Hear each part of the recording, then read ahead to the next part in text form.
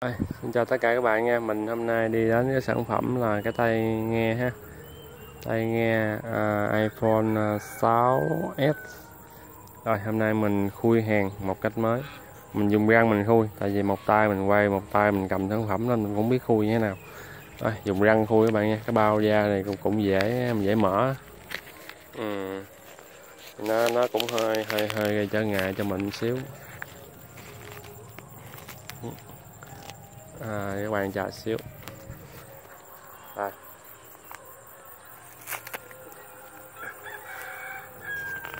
rất là rất là ấn tượng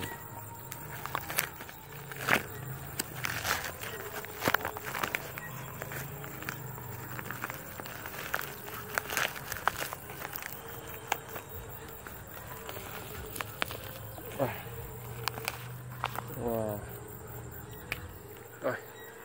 cái tai nghe khá là ok các bạn nha. Rồi đây, quay gần các bạn xem nha. Đây. iPhone 6s mình không biết là đúng cái thương hiệu hay không nhưng mình thấy có trái táo nè. Sao mình thấy mờ dưới ta? Đây có trái táo rồi. Đây. Rồi, rồi mình sẽ mở cho các bạn xem thêm một lớp bên trong ha. Đây rồi, cái bao này mình gỡ bỏ đi. Hôm nay mình khui hàng à, tại quê ở ngoài à, ở ngoài ruộng cho đổi không khí rồi nha. Không khí cho nó mới mẻ hơn xíu. Rồi chúng ta bắt đầu khui cái hộp. Cái hộp này mình nghĩ là cái hộp này cái nắp đầy quá.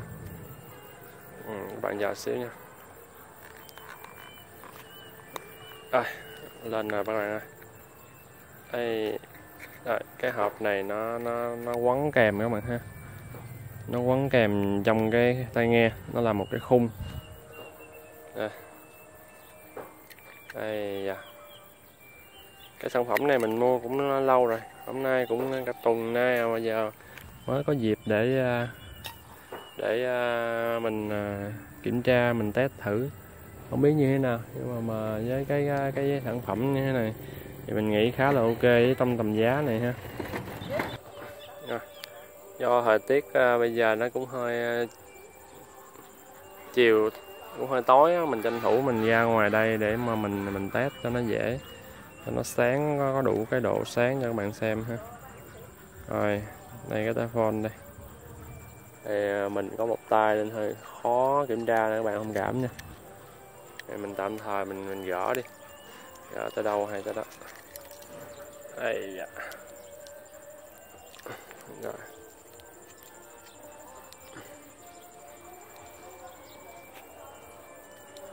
Rồi rồi mình để lại đây đi lát mình nhặt sau. Wow. Wow giống như xiết vậy mà. Rồi đây rồi cái tay phone thì nó có âm lượng ha các bạn âm lượng nút ờ, tăng giảm đây. Đây rồi tăng giảm âm lượng. Thì cái tay phone này mình nhìn ờ, sơ thì nó không có nó có ghi cái biểu tượng của mic nè. Mà sao mình không thấy có, cái cái lỗ ta?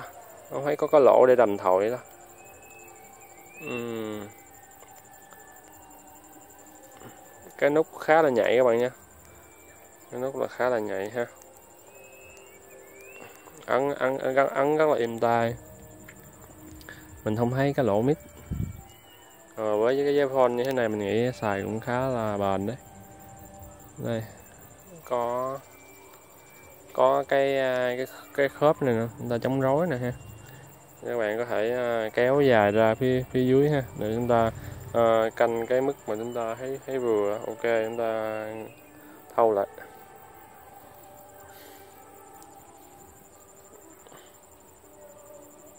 À, nói chung tầm giá này là cũng cũng khá là ổn cho một cái cái tai nghe ha.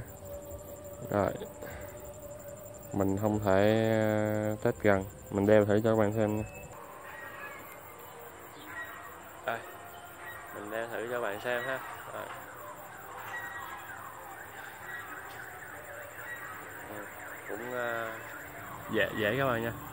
À, vừa vừa khích vừa khích uh, ờ, tay mình. Nó có thể là chống ồn chống ồn cao. Vừa khích luôn ha vừa khích cái cái cái lỗ tai cái bàn tai ha. Nó nó có thể che khuất được um, cái cái cái khoảng hở cái khoảng hở trong cái kẽ tai mình ha. Thì cái nó có chữ R đó bạn là right chúng ta để vào tay phải nè. Hoặc là left viết tắt chữ L là chúng ta để tay trái ha. Chúng ta ở trong cái ờ, cái chức năng của cái ờ, lỗ tai chúng ta có phân biệt có phân biệt uh, trái phải nên các bạn nên để đúng theo cái chiều này. Cái chiều của nhà thiết kế thì, thì chúng ta nghe nó nó chuẩn xác hơn ha. Rồi mình xin chia sẻ với bạn à, video đến đây thôi. Cái này mình cũng không biết test như thế nào tại muốn test là phải test à, trong cái cái cái lo trong mà nó cũng hơi khó. Có những cái phần mềm nó chưa có hỗ trợ mà rồi xin chào và hẹn gặp lại các bạn trong những video lần sau. Bye bye.